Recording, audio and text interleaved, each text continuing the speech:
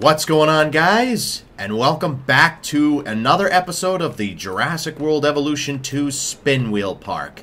This will be the final episode of Season 1, and whatever we don't get in this season, we will get in the next season. So don't worry, there's another season incoming. What's in here? Oh, the Dunkleosteus. So, we're gonna have at least two more seasons, basically until we run out of creatures. 50 per. So like 50 on the first two seasons, and then 22, the last 22 on the third season. So that's what we're gonna do. So without further ado, let's begin. And creature number one is, or should I say creature number 41? Herrerasaurus, alright. Starting off strong, it looks like. Alright, so we're gonna have to make a separate enclosure. Here we go, that looks round, doesn't it? Yeah, round-ish. Alright, so let's go ahead and uh, throw the um, reviewing gallery in here. We'll, we'll put a Jurassic Park one in here. Just so we have more paths. Alright, and then we'll get a viewing dome, like in the back somewhere. Where's the viewing dome? There it is. Viewing dome. There we go. And then we'll put like a, a patch of forest, like in the back. Alright, let's get a carnivore feeder, like over here, and some goat feeders. Alright, I think the Herrerasaur enclosure is ready. So we'll go in. What did we put in last time? I think that's Coelophysis. We put that in last time. Alright. well, the Herrerasaurs are here now, so it's kind of too late to put them back, so... Alright. Wait. Don't Coelophysis actually like the these guys? Oh, the game froze for a second. Yeah, it is getting a little laggy because we have so many dinosaurs in here. Alright, let me see. Coelophysis. Likes everything. Though I have seen them fight, so you know what? I might not risk it with the Herrerasaurus. Herrerasaurs are a little bigger, so we'll just, you know, throw them in. So Herrerasaurus will be thrown in here. There we go. We're throwing in Herrerasaurus now. So these should be relatively quick. Do we have any strong ones? We don't have any strong ones. Alright, good to know. I will wait for those to hatch up. Alright, let's hatch up the Herrerasaurs. Whatever doesn't make it in this episode will make it into the second season. Alright. We've got Herrerasaurus. Let's move on to creature number two. And our second creature of the episode is... Ooh, Megalodon. Okay. Alright, alright. We can throw that, like, in the back somewhere. Yeah, we could definitely throw it in the back somewhere. So we need a lagoon enclosure. That's what we need. Let's throw Megalodon in here. We'll just have the one. We'll make it relatively small. Like, not too small, but big enough where the Megalodon can swim around. That should be good. But we're getting Megalodon in the final episode. Let's go. Alright, we'll get some fish feeders because that's what they like. So, fish feeders. Nope, that's wrong one. Or shark feeders, even. There we go. And then we'll get, like, an aquatic dome for, like, the middle area. Alright, Megalodon is being hatched up. That might take a little bit, but we'll have to wait and see. The park is being ex expanded once again. Alright, we'll wait for the Megalodon to hatch up. That's going to take a little bit. In the meantime, let's move on to creature number three. Creature number three is Acrocanthosaurus. Okay. Alright. We'll have to throw that in somewhere over here. Maybe over here. Acrocanthosaurus can go over here. We'll put like a concrete fence like over here. Big enough where the acro can, of course, roam around. There we go. Let's throw that in. We'll get a carnivore feeder. And then two live prey feeders in between. As well as the forest. And then we should be good to go. Maybe some... Cover this with shrubbery. So we have like a more realistic type, whatever. So this will be the Acrocanthosaurus enclosure. Alright, we'll get to that in a minute. Let's head over to the lagoon. Once we get to it, and release the Megalodon. Let's go. Here it is. Our giant shark has entered the park. So now that means whatever we land on will not be returning for Season 2 of the Spin Wheel Park. We're gonna drain out the wheel till we run out of creatures. That's what we're gonna do. That's our goal. So that's Megalodon done. Let's get the hatchery from the Herrerasaurs. Take that away. I'll fix that in a minute. Or on my spare time. It doesn't matter, this is the final episode anyway. So, alright. We'll throw you here. Yeah, it's gonna keep lagging because we got so many dinosaurs in here now. There's so much going on. Alright. Let's get... Oh no, Acrocanthosaurus is up here, isn't it? Alright, that's going to take a little bit, so while we wait for that, let's move on to creature number four. Creature number four, what will it be? Let's take a look. I thought we were going to get Thanatosdrakon, but nope, Torosaurus. Alright. Now, where can we put Torosaurus? Alright, do you guys like Torosaurus? Let's take a look.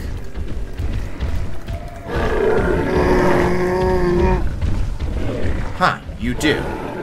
You do like Torosaurus. What about Pachyrhinosaurus? Do you guys like Torosaurus? You do not. Okay. We got a Pseudoceratops over here. Do you like Torosaurus?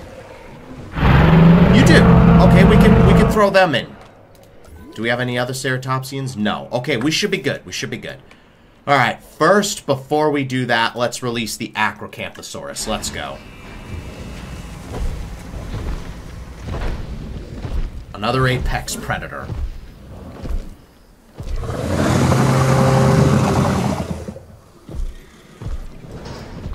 Alright, that's Acrocanthosaurus released, so we'll move you away from here, and then we'll move you back into the, what's this, the Gyrosphere? Yeah, gyrosphere enclosure. Obstructed. There we go. So we'll throw the Torosaurs in here. Since they can get on with the Nasudos. So Torosaurus will throw that, like, in here. Wait, maybe this could be all one season. And then we could have... This could be Season 1, Phase 1. The second one could be Season 1, Phase 2. And then the third one could be Season 1, Phase 3. Yeah, that could work. And then Season 2 will have everything back. Alright, so I think Torosaurus will be a lot, yep, a lot faster. So we'll wait for them, and then we'll move on to creature number 5, I believe. So yeah, this place is getting pretty crowded. The only hybrid we have so far is the Ankylodocus. Which is cool. Alright, Torosaurus, let's go.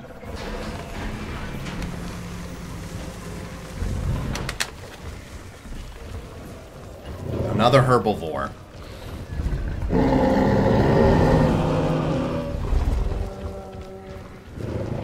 Alright, so that's Torosaurus. Let's move on to creature number five. Creature number five, what will it be? Dracorex. Okay.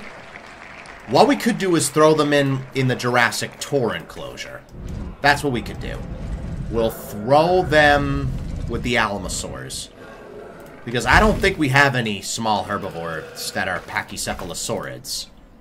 Alright, so let's get Dracorex. Microceratus, if we get that, I'm pretty sure we could just throw them anywhere. And they'll be fine. As long as they're not filled with carnivores. We'll get all eight of them. All eight Dracorexes, they should be relatively quick. Let's release them.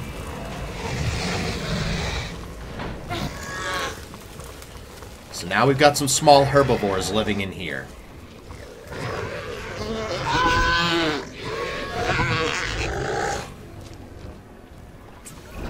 Let's go. Alright, that's creature number five. Let's move on to creature number six. Creature number six. What will it be? Suchomimus? Okay, alright. So for Suchomimus, we'll have to throw them in a separate enclosure. Let's expand a little here, and then just have Suchomimus living in here. Yeah, that's what we'll do. So Suchomimus can have like an enclosure like right over here. And then if we get Baryonyx, we can throw them in with the Suchomimus. Because like with the Carnotaurus and, and uh, Majungasaurus, those two can get on. Alright, we need to make this like swampy because these guys, like, are, like, semi-aquatic. We'll give them a fish feeder, or a piscivore feeder, and then just cover this entire area with swamp. There we go. That should be good. And let me get a viewing dome for the Acrocanthosaurus as well. Or should I get a viewing log since it's bigger? We'll get a viewing log since it's larger. We got a little viewing pen for that. Alright. Let's, uh... Alright, we left it with the... We left the hatchery so we could release the Dracorexes. So, now that the Dracorexes are out and about, let's release the Suchomimus. All four of them. Alright, they're gonna take a little bit longer, so let's move on to the next creature. Creature number seven is... Ooh, Chasmosaurus, alright. Hmm. I don't know. Let me see. Let me see what what these guys like. Do you like Chasmosaurus? You do not. Okay. Do you like Chasmosaurus? Alright, you... do. You do, alright?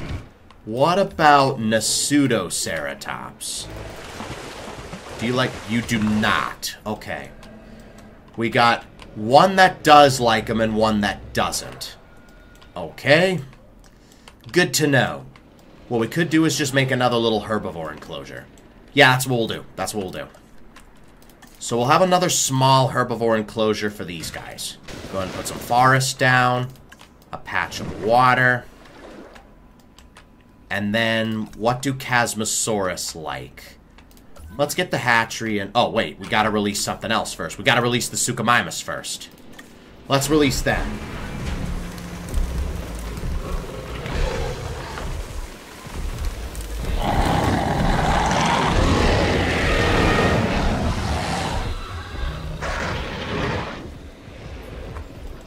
Kind of like this one. What's your skin color? Great Sandy Desert Pelophylax. Your skin pattern, even. Alright. So we got our little herbivore enclosure in here. So we'll just throw this over here for now. And then what we could do is put some viewing domes. And a viewing gallery. We'll get a viewing gallery as well. We'll put one like over here. There we go. Now we throw them in. So we need some ground leaf. That's literally all they need to be happy. And then I'll, of course, decorate this with more shrubbery as we add more herbivores in. And let me get some viewing galleries, or viewing domes, even. We'll get one for, like, right over here, and then we'll get another for the back. Yeah, that'll work.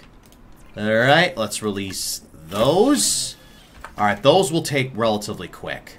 So, we'll throw them in, and then I think we've got Three more to go. Maybe we could add some more small herbivores in here. Yeah, this could be a small herbivore enclosure. Let's release the Chasmosaurs.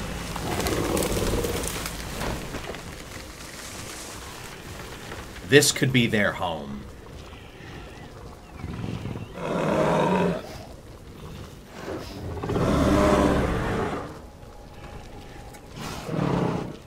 Alright, so that's Chasmosaurus done. Let's move on to creature number 8. Creature number eight is... Ooh, Stegosaurus. Okay, that is going to be a little bit tricky because we have three different enclosures with things that they won't like. So in this enclosure, we've got Huayangosaurus. And you know for a damn fact that the Stegosaurs will not like them. They will get on with Gigantospinosaurus, so if we get Gigantospinosaurus, we could just throw them in there. Hmm. We've got ceratopsians galore over here. We've got Torosaurus in here. We've got Nasutoceratops. In here, we've got Pachyrhinosaurus and Pentaceratops. Now, you know for a fact they'll have a problem with Stegosaurus. Alright, let me find a place to put Stegosaurus, I guess. I guess we could put, like, Stegosaurus... We could have, like, another big herbivore enclosure or something. Yeah, maybe, like... We got Herrerasaurus. Yeah, we could throw this, like, in here. I mean, there's really no point. Because we've got, like... Two more. We only got, like, two more creatures after this. So we'll throw that in there. And then let's get the hatchery out. What did we use it for? I think, no, not the Suchomimus. We used it for, oh yeah, the Chasmosaurs. So we can easily throw some more herbivores in the Chasmosaur enclosure. I'm thinking for these, we'll put in smaller herbivores. And then for the Stegosaur, we'll put in larger herbivores. That's what we'll do. So if we get like Brachiosaurus, then we'll put Brachiosaurus with the Stegosaurs. Or if we get something like, uh, hmm, maybe Microceratus, we'll throw them in with the, the Chasmosaurs. That's what we'll do. Alright, so Stegosaurus, what do you guys like? Alright, we'll throw the Stegosaurs in here. We'll fill this place up with, what was it, ground fruit and ground fiber? Alright, so how long will the Stegosaurs take? 22 seconds, alright. Those guys will take a little bit longer. Let's move on to creature number 9. Our second to last creature of Phase 1 is... Quetzalcoatlus. Okay. Alright, that's cool, that's cool. So, we could easily throw them in the aviary with these guys. Let's release the Stegosaurus first.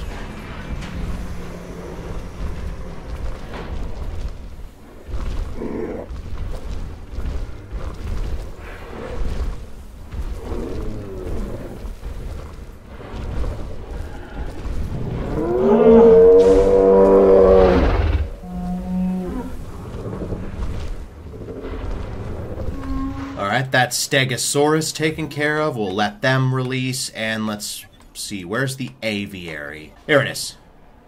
Alright, so let's take a look at Quetzal, or Quetzalcoatlus. We'll probably just release the one. Hold on, what do they like? Alright, they don't like Doctor Wu hybrids. They pretty much like Dimorphodon, Tapejara, Sierradactylus, and Barbaridactylus. Okay, so I think Marodactylus, they'll be indifferent by those.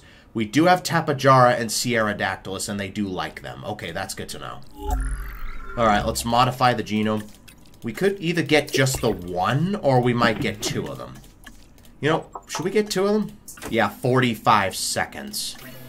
We'll throw you in, and we'll throw you in. Alright, in the meantime, while we wait for the Quetzalcoatlus to be released, let's move on to the final creature. And the final creature of Phase 1 is... Thank you. Because we can just throw them in with Suchomimus. That'll be very convenient. Now I'm pretty sure the only Spinosaurids we have left are Spinoraptor and Spinosaurus. And if you want to count it, Spinoceratops. The Baryonyx we could just throw in with the Suchomimus. Alright, that just lagged a bit. I thought it was going to crash for a second there. Alright, let's get Baryonyx going before the Quetzalcoatlus are ready to hatch. We'll get them ready, and then while they're incubating, let's go ahead and release the largest pterosaur in the game.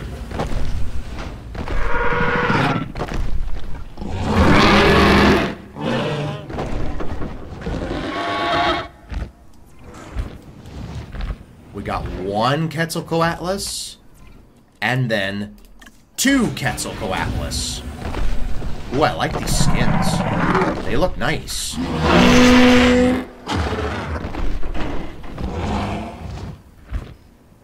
Alright, so Baryonyx should be ready to go. Yep. Let's release our final creature of Phase 1. The Baryonyx.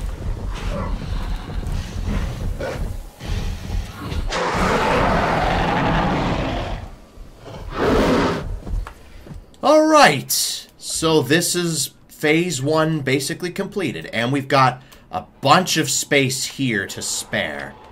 So we've got a total of 50 species in the park. 230 specimens. That's, that's crazy. So yeah, and with that, that's going to have to wrap it up for Phase 1. If you guys enjoyed it, make sure to leave a like and subscribe for more. It would really help out a ton. Please stay tuned for Season 2 or Phase 2 of Season 1, as well as Season 5 of The Sanctuary. But until next time, I'll see you guys in the next video. Thanks for watching.